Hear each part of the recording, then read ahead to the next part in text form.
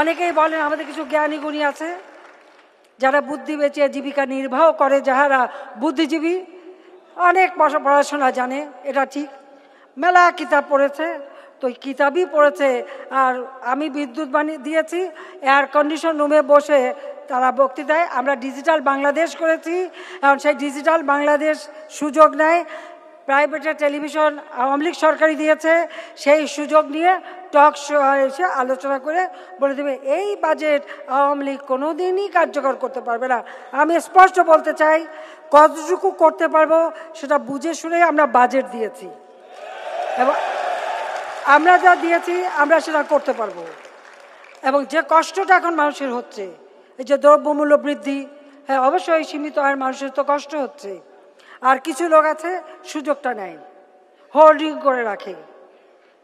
পেঁয়াজ উৎপাদন আমাদের হতো না। পেঁয়াজ উৎপাদন যখন করেছি, পেঁয়াজের দাম হু করে বেড়ে গেছে। যেই পেঁয়াজ আমদানি শুরু, অমনি দাম কমে গেছে। যারা এই যে হোল্ডিং করে রেখেছিল, তারা যদি এই অপকর্মটা না করতো, তো এই পেঁয়াজ দিয়েই কিন্তু আমাদের হতো। তা আমরাও জানি কখন কোন জবাবটা দিতে হয়, কখন কোন ব্যবস্থা নেওয়া হয়। আজকে সারা পৃথিবীতে তেলের দাম বেড়েছে, আমরা এলএনজি আমদানি করি, গ্যাস আমদানি করি, সেগুলি বেড়ে গেছে। আর নিজেরা কূপ খনন করছি, নিজেরাও আমরা গ্যাস প্রোডাকশন করেছি।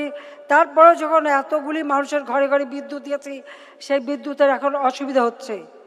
লোডশেডিং আমাদের দিতে আমরা বাধ্য হচ্ছি। তারপর আমাদের চেষ্টা। আমি জানি মানুষের কষ্ট হচ্ছে।